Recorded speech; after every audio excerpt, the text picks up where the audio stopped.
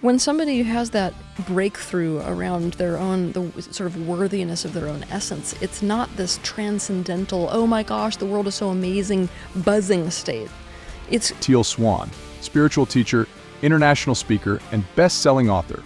A lot of people tell you to forgive people or forgive things. yeah they're just doing that for their own sense of comfort forgiveness is something which cannot be forced i know that's a controversial view but i She's inspired millions of people to live with truth, authenticity, freedom, and joy, and is on a mission to transform human suffering into an empowered and authentic life. You never want to do affirmations that don't feel believable. Know that I'm flying in the face of um, what most people think about affirmations by saying that. I, I don't think it's healthy to lie to yourself. Discover how to navigate guilt, forgiveness, purpose, and building a life that's aligned to your true self. Sometimes I feel we stress too much on our past. Give it to me. I obviously have very different views on this whole thing. What's your take on guilt? Yeah. This is the juiciest thing we've talked about yet.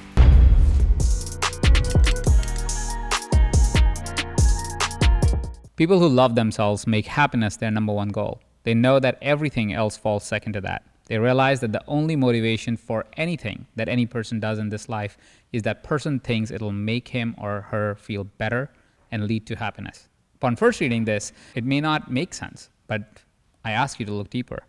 This is an exercise in understanding and compassion, which may begin with other people, but eventually end with you.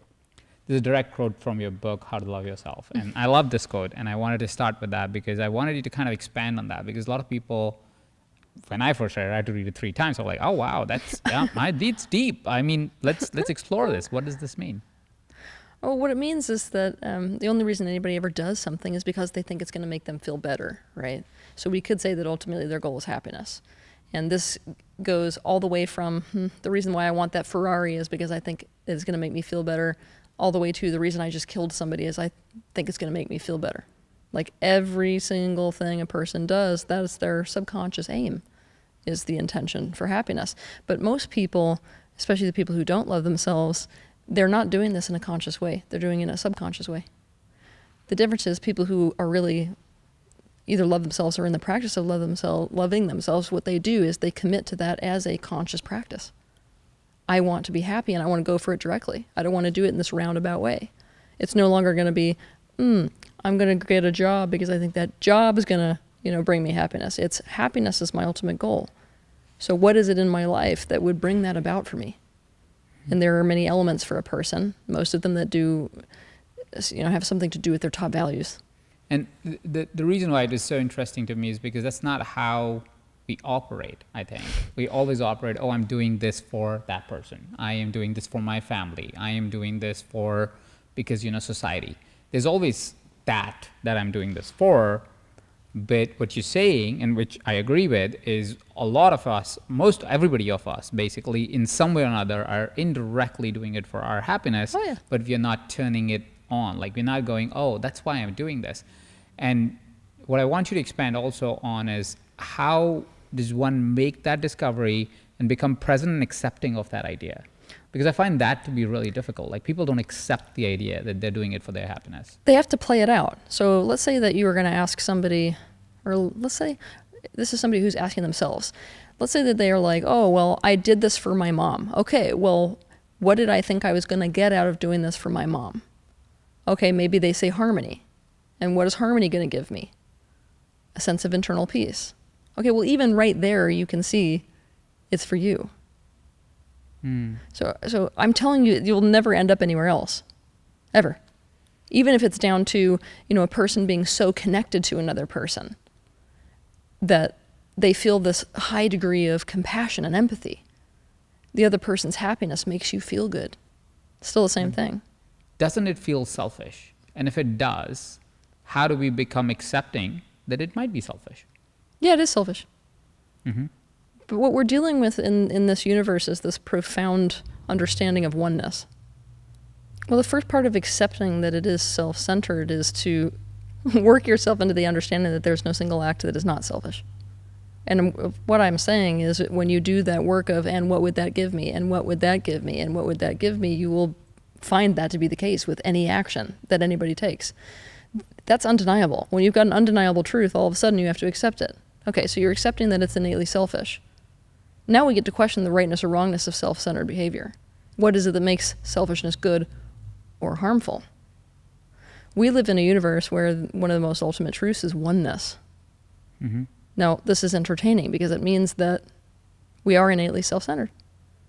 But it means you or me, and I am you. Mm. Your happiness is my happiness, and my happiness is ultimately linked to your happiness, right?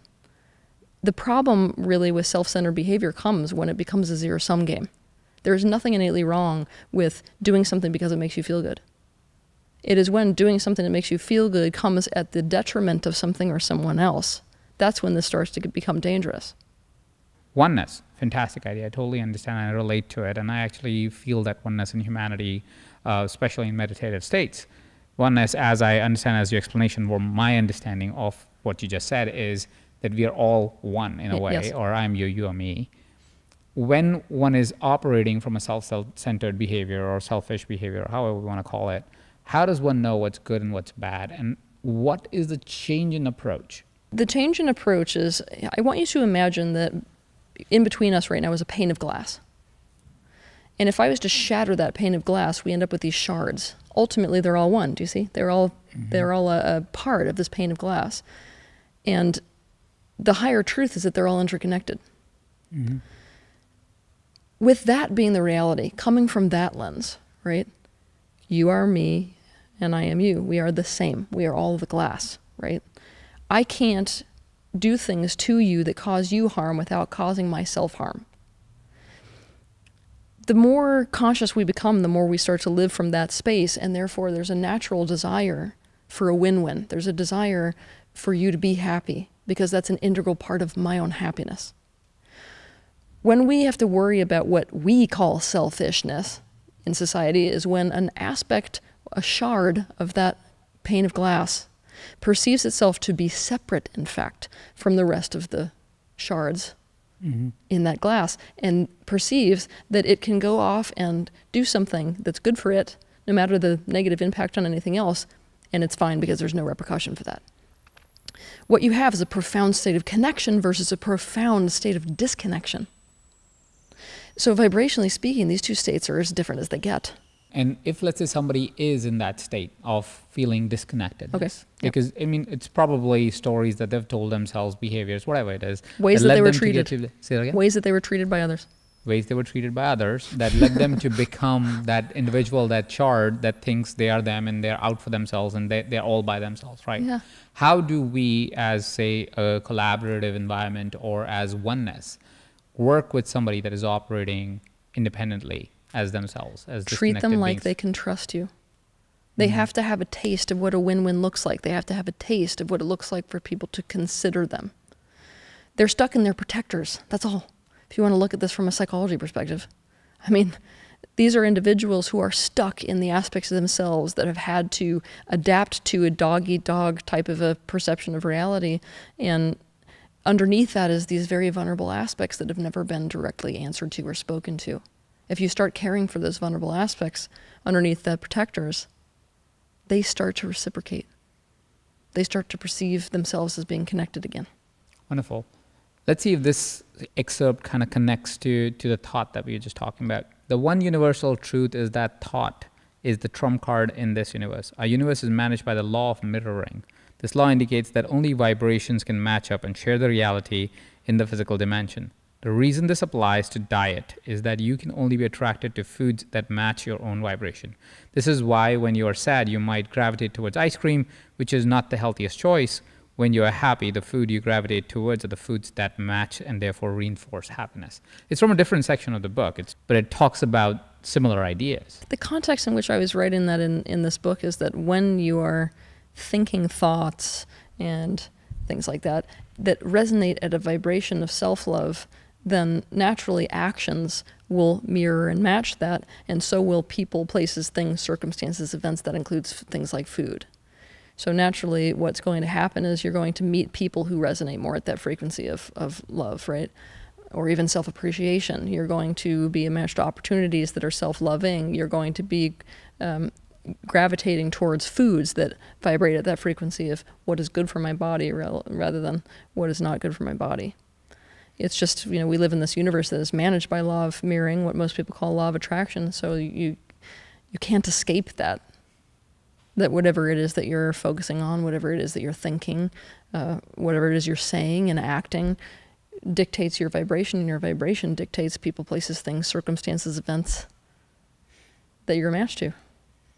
So true. And I, I want to relate to that story because one of the biggest changes in the past three years or so, I've completely transformed my well being, like my body itself, Nice. uh, my physical being as well. I, I was uh, n- not overweight, but kind of not really healthy. I didn't have any health practices. I, I was very unfocused as a person. All of the th- all of the signs of not loving yourself could be very evident for anybody that that understands it, especially when it came to my physical body. And it just came from what I recognized was it later on was because how much of a my programming was because I grew up in India where food is like the essence of everything and is it's foundation of everything. And I grew up in a not so wealthy uh, you know uh, neighborhood or not so wealthy household. And so food was the thing like you know your survival all the time. So that kind of built some behaviors and also built this I don't know if it's self-hate, but definitely not self-love for my uh, for my body. And so I, I used it to create wealth and abundance for myself, but in the process, completely lost track of where my body was. And one of the most profound practices that helped me change it is something that you also talk about in the book, which is called you call it mirror work, right? Uh, and and I did that thanks to another different friend of mine who who told me that you should try this, where you just look at your body and just thank it Yep. and just start to love it again by actually saying it, even if it feels stupid and dumb and feels really ridiculous when you first do it. but as you do it, you start to realize, and at least that was my experience, is that's when my body started telling me what's good for it and what's not good for it. Yeah. Otherwise, I was just stuffing it away. Yeah. And that's why I also resonated with this statement because it's so rarely, we always talk about diet cultures and we talk about what food to eat, what food not to eat.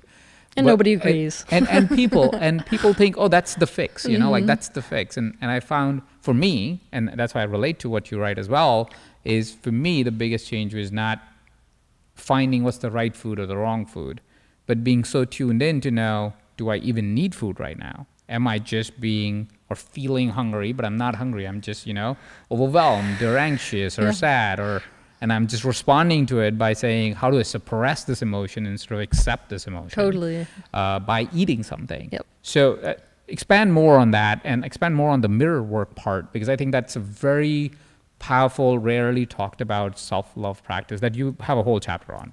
Well, mirror work is is any practice that you do with a mirror where you're interacting with yourself as if you're on the outside of yourself. That's the beauty of a mirror. Is that you're able to meet yourself as if you're meeting another person. You're able to see things about yourself by doing that. You're able to, you know, project love toward yourself. You're able to have conversations with yourself. I even have a, a real aggressive practice where you do journey work into your own eyes, where you're essentially penetrating through to your own soul in that way and coming to a deeper understanding of yourself by doing so. Um, but obviously, that changes the relationship that you have to yourself. We're not very conscious of the relationship we have to ourselves, to be honest, because like we're just walking around kind of in this meat suit every day. That's how most of us experience life, and from the inside. And so we're not very aware of what our relationship with ourselves looks like. And it's not until most people get in front of a mirror and start doing mirror work that they're like, "Whoa, I am in a relationship with me, and right now it's not a good one, and I want it to be different." And you know, you, can't imagine how you respond to these positive messages that you might take for granted. I mean, you wouldn't take for granted in another relationship. You understand how walking up to your friend and being like, I am so proud of you, would just be like, wow, you know, transforming for them. You never think about what it might do to yourself to look at yourself in the mirror and say that to yourself rather than the constant, what most people are doing, you know, beratement that is going on internally it changes your whole relationship to what you do with yourself. You start to develop self compassion. Obviously, you make different choices in life. And, and what's, I think, even more powerful than making those different choices full stop is that you have awarenesses like what you're saying, these awarenesses that just generate out of your being because you're in that space where you're ready to understand yourself better.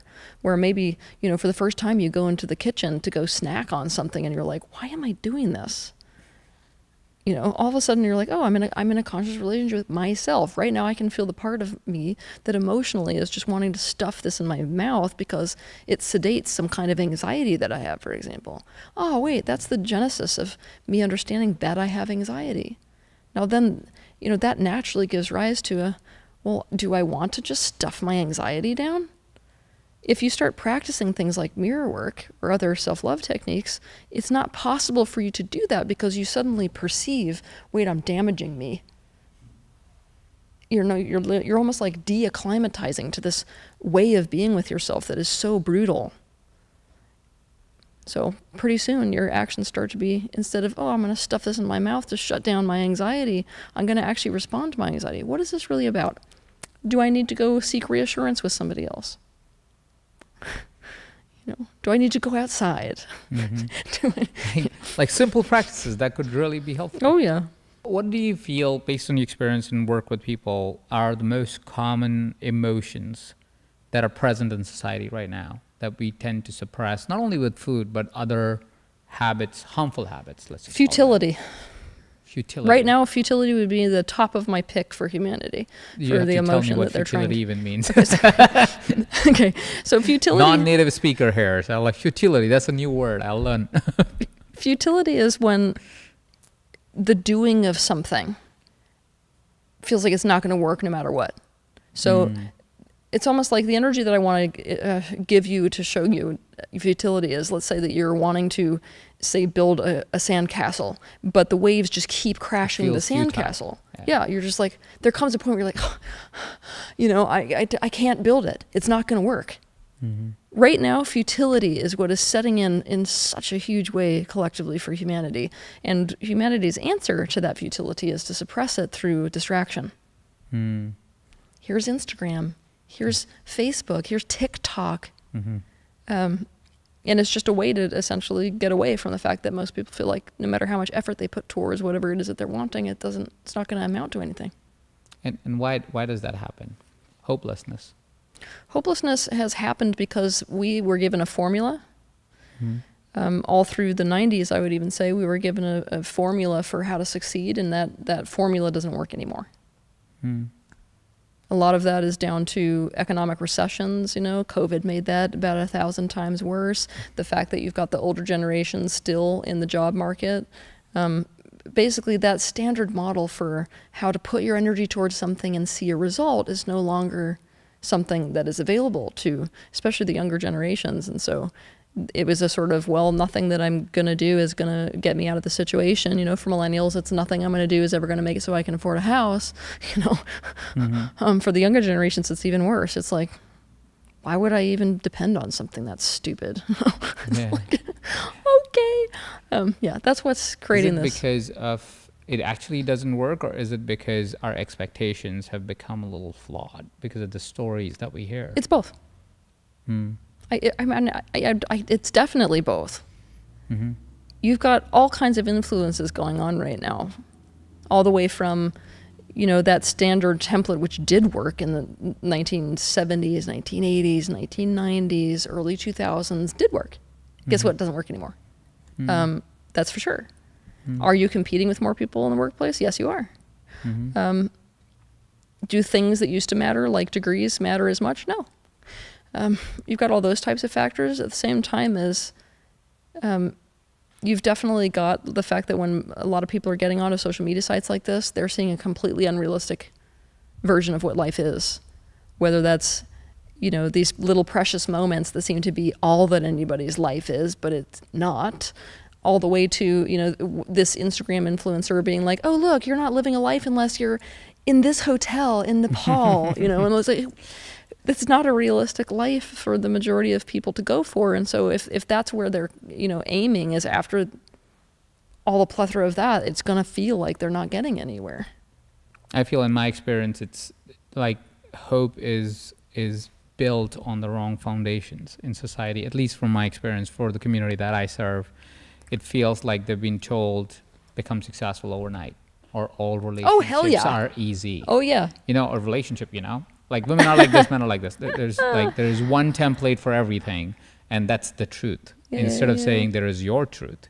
and you have to discover it and your journey that you have to appreciate. At least that's my experience of life is there's all templates work and none of them do till the time you don't make it yours. You have to take the template, understand it for yourself and see how you implement it in your life and how it becomes real for you because it's nuanced and it's very hard to teach nuance. It's experiential. It's Oh, yeah. like you do it and then you go, I can say, go to mirror work, talk to you yours- yourself like this, and your body will talk back to you. And there's a friend of mine like, my talking, my body ain't talking back to me. I was like, listen, it's your experience. So I don't know how you will feel that experience. It felt like to me that my body tells me now, you're not hungry. You're just this. Yeah, yeah. Right. So I, I feel like my body's talking back to me. You might be, I just don't feel hungry. And that's fine too. Like you have to adapt it. It's nuances. It's not the same language. And in my experience, it feels like the expectations are so high, Yeah. especially for the generation that just came in, Oh, yeah. because of all the, for what it feels to me, wrong stories that they were told, because they were just set in these big impossible dreams and everybody's a billionaire and everybody's a trillionaire and we are such a large economy and everything's good but it's not it's it's life life's going to give you a good good ball here and a bad ball there and you got to figure it out Yeah, I don't really think that people are uh, equipped right now to deal with challenges. They seem to think that if challenges happen, it's a message that you shouldn't be continuing to do whatever it is you're doing. But that's also piling on top of the fact that most people, especially in these younger generations, they're being told what type of life is of value rather than figuring out exactly what values they specifically have. When you hook into your own unique values, it's much easier to be resilient when challenges hit you because you're still choosing what's most important to you. And most uh, young people today do not have a handle on what is important to them, nor is anybody helping them out with that. Instead, it's, you know, whatever they see in TikTok, that should be important. This should be Mhm. important. And I'm telling you, it's real surface stuff. Yeah. It's shocked me, in fact. You know, and it's easy to be excited about the surface stuff because it's surface stuff. It, it looks exciting. It may or may not be actually that exciting once you are leaning into life. Another point that i feel that that may be happening in society is that we overall have reduced our self-worth or how we see ourselves is we don't value ourselves as much as as people as we probably should in a way. So a question i have for you because you you give a phenomenal technique in the book which i would love people to explore where you talk about taking inventory or personal inventory. You, you say something to the tune of uh, developing self worth is by creating three personal inventories. The first is list of endowments, second is a list of capabilities and potential, and third is a list of contributions and success. I want you to elaborate on that. Okay, so the first thing that I want to say is that we could be addressing self worth at this sort of egoic level, which is what I am suggesting to do in these exercises, and we could be addressing it at a completely different level as well, which is that something innately has worth regardless of whether you have a list of endowments or not, right? Mm. If I was to walk you into the middle of the woods and, and show you a tree and say, Does this tree have worth? Your answer would, most people would be automatically yes. And it's like, Well, that's funny because it's really not doing anything other than sitting there. And most people can touch into the fact that they, they feel a sense of worth in the existence of something, regardless of the uh, endowments that that thing possesses. However, we right here are, are as people living in a society where our egos, our personal sense of identity, is very much a part of our everyday life, which is why it's beneficial to participate in exercises like this. So one of the things that I suggest people to do is is in this inventory, the first thing that they're doing is they're writing down almost like a list of the, the positive character traits or positive traits of self doesn't even need to be related to character that they actually can resource. Whether that's, oh, I really, really like the dimple on my left cheek, or whether it's, I'm very dedicated. Nothing can get in the way of what I'm wanting. Or, I mean, there's a whole list for each person, right? And one of the best things you can do with this, if you're struggling, is to involve the people in your life that like you and say, listen, I'm doing this exercise. I, you know, if, if somebody was to come to you behind my back and say, what are the best things about me? What would you write? You can send an email to your friends and have them send it back. And you'll start to see these themes, you know. Maybe everybody's like, you're really funny, dude. Okay, so funny Mhm. goes on that list. The next one is, is capabilities and potentials, you know, but it's got to feel believable to a person. You never want to do affirmations that don't feel believable. I know that I'm flying in the face of um, what most people think about affirmations by saying that. I, I don't think it's healthy to lie to yourself, regardless of whether you're lying to yourself into one day believing it or not. It's It's so true. it's self gaslighting. I think it's crap, um, and it's also very weak because when and you that's why they don't come true because you don't even believe it. there you go. So Yeah. the best thing is to pick things that are actually believable. So If you're writing something like, you know, I know I have the potential to quit smoking. Mm-hmm. You may not have quit smoking, but when you write down, let's say that's an accessible thought to you. Yeah, I, I think I do have the potential. You write that down as a potential. Uh, capability. I have the capability to listen very deeply when people are telling their stories. Write down the capability, right? You could do things as small as, you know, I donated $100 to homeless relief. And that feels like a contribution that I'm proud of. Um, successes. I got a degree in engineering. Might be one of those. You know, it could be whatever feels uh, like any kind of achievement to you yourself. It should be something you can actually feel, right? I learned to do really good makeup, you know. It's whatever it is. I, I don't want people to get lost in the idea that it has to be big things or middle things or small things. It's like anything should go on that list that you can actually resource as some kind of an achievement, some kind of a, you know, those are like the badges, you know. Mm-hmm. I feel my contribution, and so I feel my worth in this way in the world.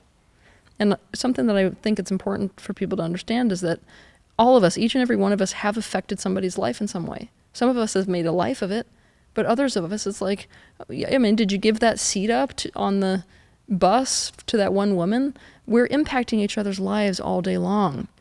And you know, no. Like if I went right now and I went, and, let's say that you did that, you gave your seat up on a bus. I went and I talked to that woman. I said, did that dramatically change the way that your life experience went? She might look at me and be like, yeah, not only that, it made me have hope in humanity. Okay, well then you can't look at me and say that your worth isn't there. Mm-hmm. I mean, if you touched literally one life, one life, that's it. Yeah. It's worth it, and that not doesn't need to be a human life. yeah. You know. One of the things in my experience is is that the journey from what I think you call ego-based self-worth is Yeah. that what, what Yeah, you yeah. said? Yeah, ego-based self-worth to to knowing an inherent knowing of I am worthy, and there is no need for a because. It's just because. Yeah. Uh, so that journey took a long time. Oh yeah.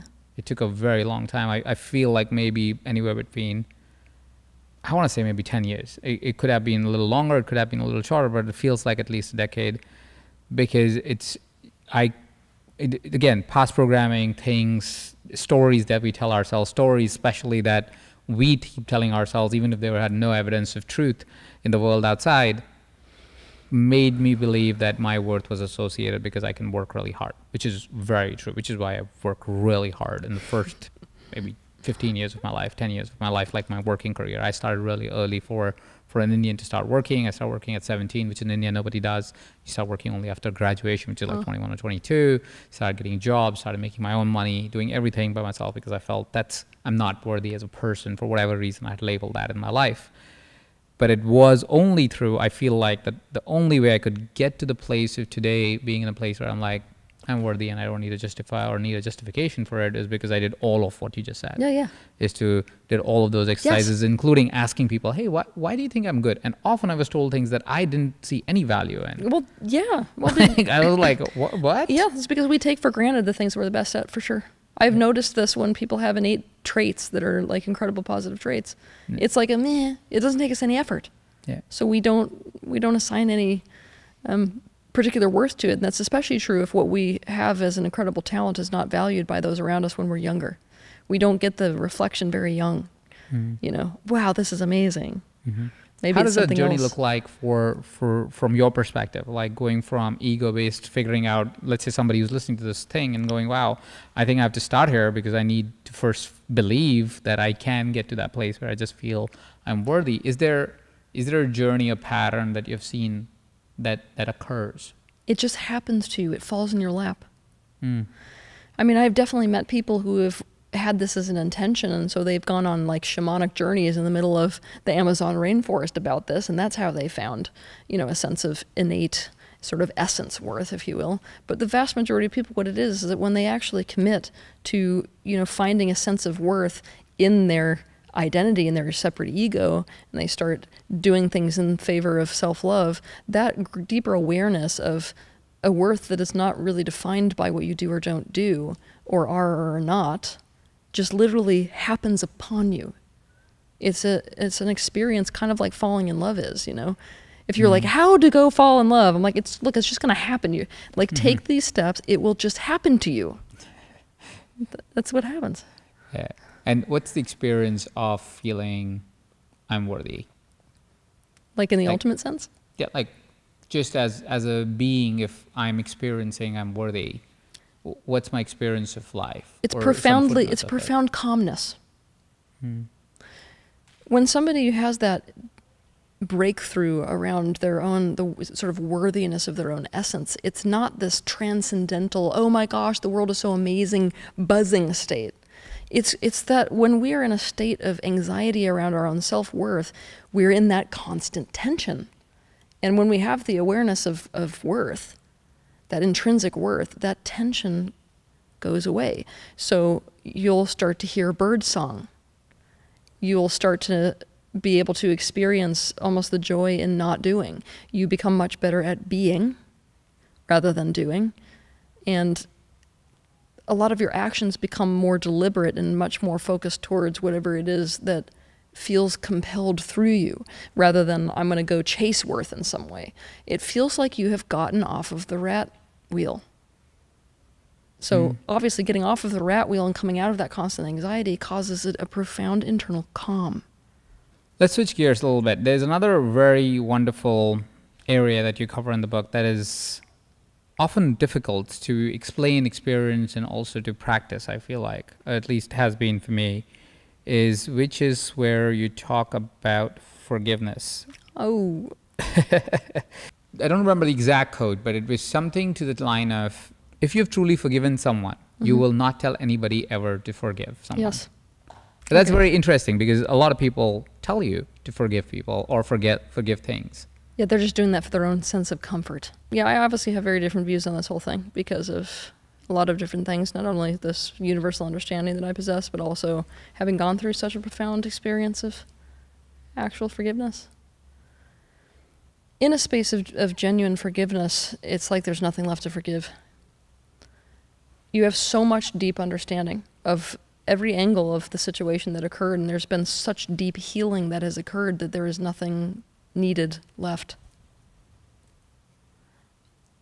It means you're done. You're done with it. And I mean genuinely, not like a bypass, not like I've just forgiven them. Like that is a bypass. That's I've got 600 steps here that I need to go through in order to weave what has happened into the tapestry of who I am so that it adds to who I am rather than continues to detract from who I am.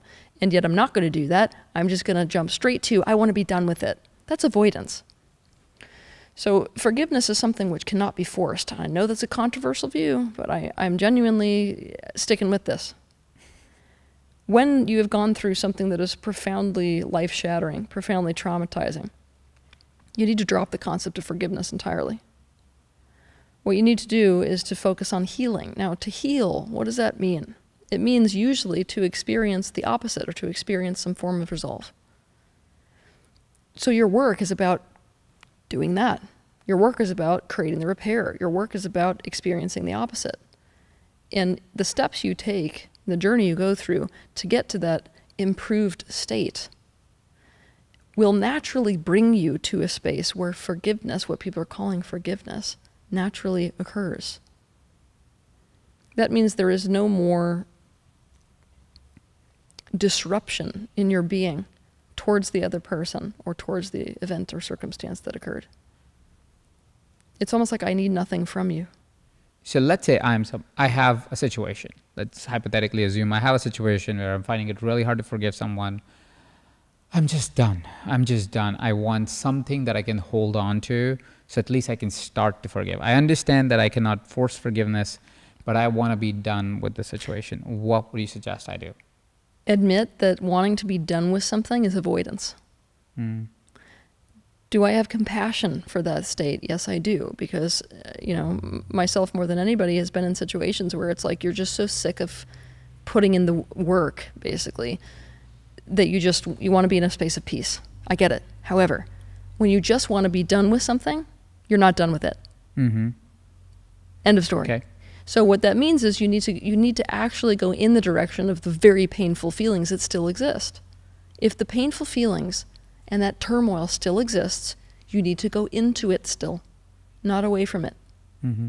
So you would be using processes to go into whatever it is that is is triggering, whatever it is that is emotionally painful. You know, two of my favorite processes for that one is the emotional experiencing process, um, two is the completion process, both of which I teach people to do. So, going into those processes, you're able to create a kind of a, a relief for those emotional states. You're able to also understand the profound messages being uh, carried by the emotion because these intensely charged emotional states, they carry information, information about you, information about what you need, right? It's very important to learn that information about yourself so you can take the right actions to resolve whatever it is that, you know, you were struggling with. Most of us don't go deep enough into the pain to understand what the hell it is we need. Mm-hmm. You know, you might be, let's say the two people are are both struggling with something that happened and that caused intense levels of jealousy for them. For one person, what they might need desperately and realize that they need after going into the emotion is they might need, you know, somebody who acts as an advocate rather than as an adversary. Because that's mm-hmm. what they never had and that's why they feel the sensation. Another person who goes into the very same emotion, right, around a circumstance might realize that what they're, you know, so desperately needing is something like commitment. Mm-hmm. I need commitment from someone, and I've never had commitment. Okay, well, that's two different roads actually that we're taking. So then you are able to take the steps. And it's not about the other person, right? It's not about the person that screwed you over. It's about, okay, this person who decided to say that they needed an, an advocate is like, all right, what does it what does advocacy look like? If a person was an advocate for me, what would they act like?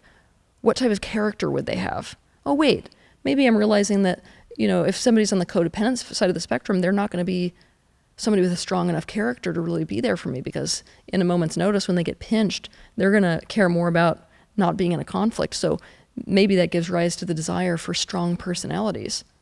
Mm-hmm. Now, it, it, that even opens the door for even more healing. Oh, you know, what's interesting is that this is really reminding me of my mom when I was younger, let's say you know, mom was somebody who really hated conflict and who didn't stand by any of us when she stood to get in a conflict because of it. And it was deeply damaging. I want the opposite experience. I actually want to be defended. Mm-hmm. Okay, so then maybe you ask one of your friends or you go find new friends and then you lay it down to them. You know, what I really want is defense. Mm-hmm. Then all of a sudden you're in this new chapter of conscious relationships with friends where, where mm-hmm. in friendships people know exactly what you want from them and mm-hmm. you're able to communicate exactly what you want from them and vice versa and then maybe you have your your next experience where something crap happens and it's like mm-hmm. your friend is like no no no no no no you know wait i have an advocate you know yeah. and then you can really bring that through your body and then this whole process brings you to a space where you're like oh wow like i see that event that happened i don't feel the same level of charge around it mm-hmm. i've i've got in my life people that are actual advocates for me mm-hmm. I understand why it happened. Actually, if that hadn't happened, this whole road that I just went down wouldn't have happened. And now my life is so much more rich because of it. Mm. I love that. And I'm curious of a few things. So, firstly, because you said you need more healing, maybe you need more healing, right? Is there an end to it? Is there a way to realize, oh, I, I, I've got my healing. I can move on now? When, when does one know? And I'm not trying to put anybody down, but I've met people who've been healing. With, from my perspective, not such a big trauma. Like from how they explain it, all like I, I don't know why this is taking you seven years. Like it's just it's like I get it, and I'm no one to judge, but at the same point in time, it feels like, well, there must be at some point they they need to heal to move on. It feels like else they will never move on. So I'm curious, is there a way for us to know? Feels like this is complete for now, maybe for now, if not forever. Well, we have to separate healing from individual circumstances from healing in general. Hmm. Because the picture of healing in general, you're never going to be done with that. Yeah, that is human experience. Fine. Not just Fair. human experience. That is the grounds for expansion. But healing from individual experiences, yes, there is there's a point at which you can know that you are essentially done with it. But that's the point at which you don't care that you're done. So that's prerequisite number one. Mm-hmm. It's it's a little bit dangerous to look at somebody in the face and say, "I'm done with it." Mm-hmm. Oh, believe me, that's an invitation for the universe to be like, "Oh, really? Try version 2.0. um, so first of all, you're not in but resistance. That's expansion, so it's probably good. Yeah, there you go. so you know, you know, essentially, you're going to be more likely to be done when you no longer have the need to be done, and you no longer, you know, need. To, you're not even asserting it anymore because you're like, you know, if there's another layer I don't see, then there's another layer I don't see. you won't feel the same level of charge in your being, emotional charge. Hmm. And you will have experienced the resolution to whatever it is that harmed you in the first place. And that, that is most likely in the individuals you're describing has not happened yet, the resolution. That Mhm. or, you know, people can get stuck in a, in a place for a long time when being stuck there is serving them in some way. which is what I feel, at least in the experiences that sometimes I'm communicating. well, Like it feels like it just serves them. It's like they don't want to be healed. The the story is actually serving the need, like you said, that they need. But instead of expressing it as a need, they're expressing it as a challenge in their life instead of just exploring. Oh, my need is this. Let me just ask for what I need. Uh, so so so I see your point, but it's just my curiosity to say. Wow, sometimes it feels like, and, and I am also learning every time, and that's why I'd like to invite guests and, and poke sometimes just to kind of get my better understanding. Uh, so, so that was the first thing that I wanted to understand. And secondly, and this is it's a strong opinion, loosely held, that I have, is that sometimes I feel we stress too much on our past and too much on the story of the past. That's strong opinion, loosely held. I, I know I'm asking a question to someone who is uh, an expert in some ways and on the past probably or past stories probably. I hope it's a loosely held belief. Yeah. Yeah, it's probably not that loosely held, but being really honest, it's probably not that loosely held. But it feels to me that what served me the most, and it could be an avoidance technique. So I'm not I'm not debating that particular narrative per se, but what I found is what's helped me the most is to is to find the need, like you say, find what do I really need in this situation. I need this, and then just to go, okay, so I can just be present to it, and then move on. And and I get really present to present instead of being present to past. When you go through experiences in the past, what happens is a fragmentation. So, the best way to understand fragmentation is to think about water. When you're looking at a stream from above, right, you've got like these different branches of water that go in these different directions. That is what the consciousness of a human does in a moment of trauma. And that fragmentation happens in very complicated ways on a non physical level and very, very complicated ways in terms of a, let's say, a personality spectrum level.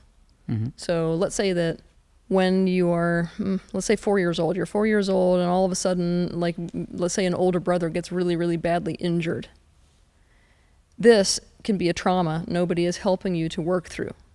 And so that changes the belief systems that you hold. That changes the way that you have to adapt to the world. You start to cope with aspects of your personality to the suppression of other aspects of your personality. And if it's not resolved, what happens is an aspect of your soul stream becomes trapped there. So let's say you've got, you know, me as an extrasensory when I'm walking into a house, say the Airbnb that I'm renting right now, I'm able to actually see fragments of individuals that are stuck in that house at moments of trauma. Mm-hmm. This is why, you know, in shamanic circles, soul retrieval is such an incredibly important thing. These aspects of ourselves stay stuck in the past, almost like a skipping CD, calling us back there. And that's really super spooky when we live in a universe managed by law of mirroring, what most people call law of attraction. Because it means that if we haven't resolved that trauma that we're stuck in, we actually repeat it. So what you'll find is the people who want to be done with it, who want to be living in the now, the universe brings you your trauma again. It's an interesting conversation with me, and stop me if you feel like this is just tangential. You don't want to talk. Oh, about this it. is not. Yeah. This is the juiciest thing we've talked about yet. Okay. Oh, perfect. So that's great. Uh, so to me, and maybe because of the way I look at the world right now, Yep. or at least right now, is I see it coming back to the first point. We are all here for our happiness, Yeah. right? So from that point of view, I'm simply, from my perspective, what I go is this doesn't serve me. And I will always have, like you said, I will always have healing. I will always have trauma. I will always have a story of a trauma, and Yep. there is no end to it. The more I explore, the more I find. The more I look, the more I discover. Because I'm carrying a big box of trauma, if you want to look at it from that point of view, it doesn't help me move forward. The only thing that helps me is to drop the box. I don't think so at all. When I work with people, I work with them specifically to mine through those boxes. And each time it's like the better it gets, the better it gets. I also have never worked with somebody and, and managed to get them to a place where they really deeply understand what it is that they are needing to experience without that deep mining process. when you work with people at, at more that level of just what is accessible to their current awareness without really diving like I'm describing, what they come up with is is uh, it's like weak healing, in fact, Mm-hmm. compared to the the gravity of when they really dive into it and really have those awarenesses of Mhm. why, like why, what is it about this moment right here um, that was so damaging? What is it that I decided in this moment based off of that decision? How did I start acting? How do I keep acting that way today? Mm-hmm. I mean, I, helping a person mine in this way makes it, it's such a more accelerated path to amplifying their life experience. it's Mhm. like, oh my God, I wouldn't like want to do anything else. It starts to become the one two step Mm-hmm. further, further, further, further, further, further. And yeah, in my experience, the people who want to drop the box are in avoidance because they think that it's just going to be never ending. Fair enough. Fair enough. I think we both are unique ways of approaching to to life, and I think both of them work in their own way for their own purposes. I guess. Moving on. So one of the things that you have in the book is this quote which I love, and it is around purpose, which is where you say we very often make mistake when we are searching for our life purpose because we look for what we are supposed to do or to have in this world when in fact our purpose comes instead in the form of what we are supposed to give to this world. It is only through the giving of this gift that we can ever receive and allow our true selves to express themselves into the world. Yeah, I feel like the majority of people they're approaching life from this perspective of they they're down here so that it's about what they can get. They're not really seeing themselves as say a, a part of the system of life here on earth. So I think one of the best ways to make this make sense is to think about a car engine. Every single part of that car engine has some kind of a, a sort of gift to give, a way of being, a purpose in and of itself. And that purpose adds to the functioning of the entire system, right? So, what I'm saying is the same way that a carburetor would be like, oh, I'm a carburetor, which means this is what I have to give. And because of knowing that that's what I have to give, I know my place within the grand scheme of things. We are all the same. When it is that we, you know, figure out what gift it is we have to give the world or what offering we have, that is when we find our place. That's Mm. when we're in profound touch with our purpose. Is there a pathway that you've found that people discover purpose? Yeah, it's a, it's a two part thing. The first part is figuring out what it is that you give naturally that you love giving and that you don't need anything back for. Mm. Um, that's part one. Part two is figure out what it is that causes passion in a way where it just makes like the, the hours turn into minutes. It's a profound sense of, of joy or contentment, even, right? Mm. So, yeah, if you were to marry those two concepts of like of like joy and of you know figuring out what it is that innately comes out of you in in that way, that sort of gift giving way, your purpose falls in your lap because it can do no other than that. Beautiful. And I think purpose is so, such a big thing right now for, for people to discover. Like you said, a lot of us experience hopelessness in, in life, or you give a very wonderful word for it. Uh, but purpose is something that can maybe give us more hope.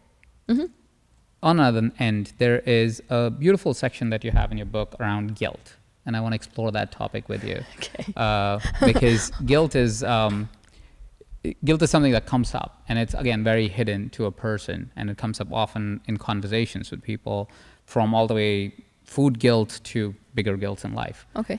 what's your take on guilt First of all, guilt is something that is is learned. So guilt happens when we've got a line and that line is a no versus yes line and we cross it. Mm. So let's say that let's say that in childhood you were taught that doing something for yourself versus somebody else is bad. hmm You go and you do something for yourself, you're going to feel guilt because you crossed that line.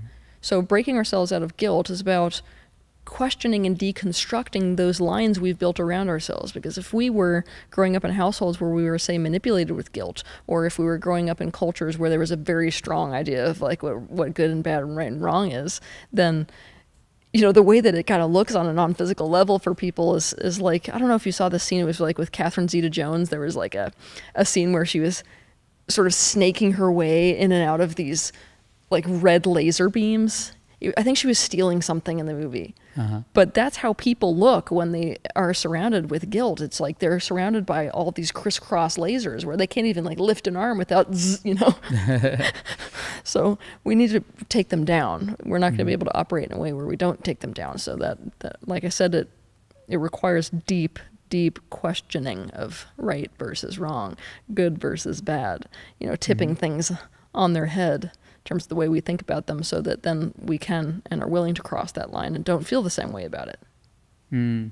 And how, how does one build that understanding? Are there a set of questions, a thought bubble, thought experiment that one could have to start building that understanding? What's right and wrong, or is it right and wrong personally, or right and wrong universally? Both. I mean, I want people to start questioning things like a philosopher. I don't have a particular process myself for it, but it's almost like like let's say that let's say that you're you okay, there's guilt around say going to something that you were really excited to go to instead of going to a family dinner.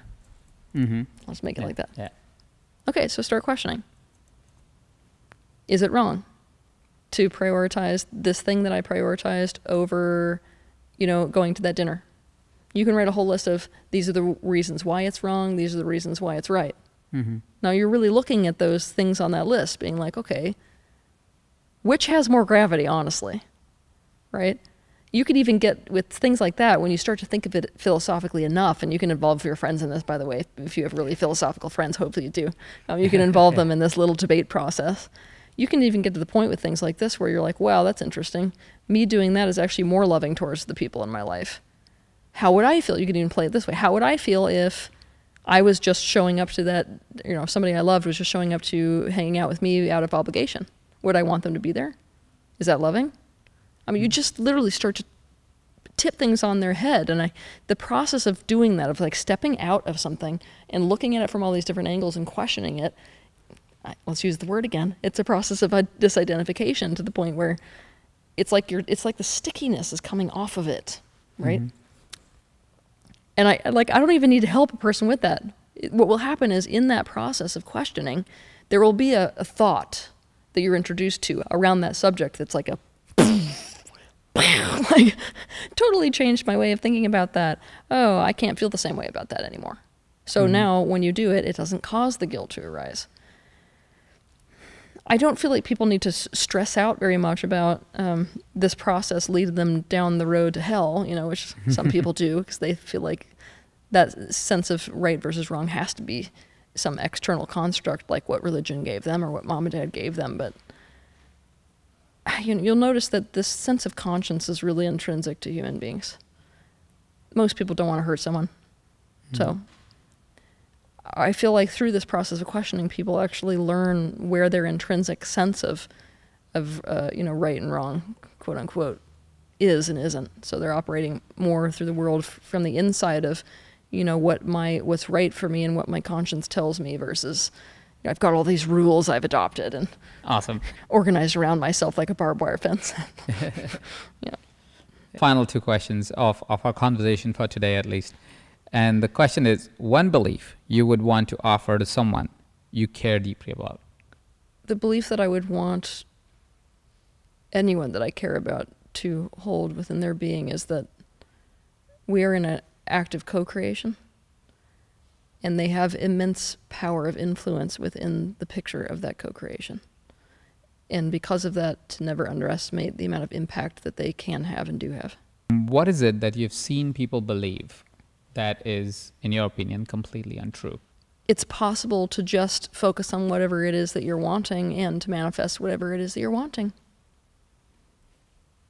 That the picture of manifestation has entirely to do with focus. Where is it that people can find the best source of information or to engage with you, to follow you? What would be those places?